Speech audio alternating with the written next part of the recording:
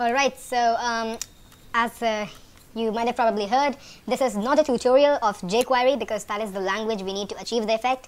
It's just uh, on how you can use that effect and how you can uh, get the most out of it. So let's just see how the effect works. You just click on a random text. This, uh, this is a random text enclosed within the anchor tags. So it can be a box for any case. I click on it and I'm smoothly scrolling to this black box. So what I want now is I want to know how do I do it.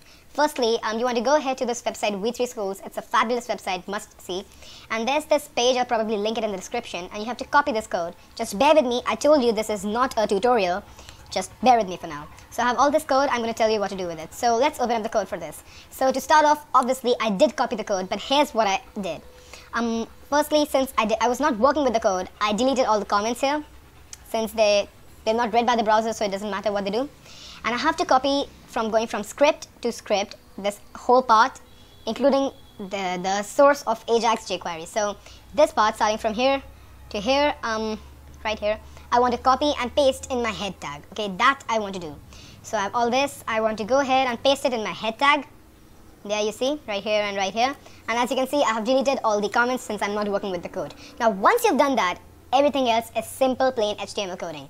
So what I did, firstly, I opened an anchor tag gave it an href of uh, section 2 more on that later. And gave it a simple text of smooth scroll. Okay that bit that bit is easy. Now what I did was that I went ahead and created a div right here.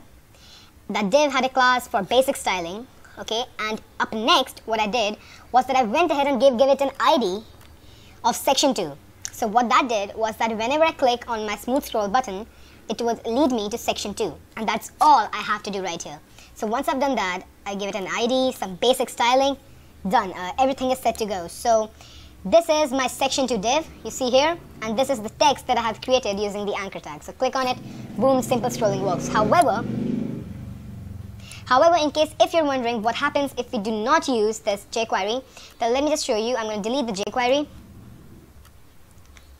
Okay, and I'm going to save it and reload. Okay, so now as soon as I click on it, it does lead me to the box, but the fact remains that it doesn't work the way I want it to, obviously, and there's no smooth scrolling. Like we saw right here, there's no smooth scrolling like that. It's simple click and move.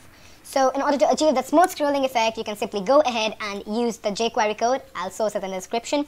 And in case you just want it to be like click and bam onto the point, then you can simply go ahead, and give an ID to your point okay? And make sure that this href is linked to that id so href equals to suppose the id is section 2 this becomes href equals section 2 and that's all you have to do. So thank you for watching uh, have a nice day and obviously before i end the video i'm going to show you a bit of how i use this effect. Um, you can see it in this page right here. So i created this page uh, just for just wanted to see what else i can do. So i created this page um, you see there's these three bars as soon as i click on them this pops up. So suppose I want to click on any one of these. I click on here, smooth scrolling leads me right here. So that's how I went ahead using this effect. Well, the sky's the limit, use your imagination, and that's all for this video. Thank you for watching and have a nice day.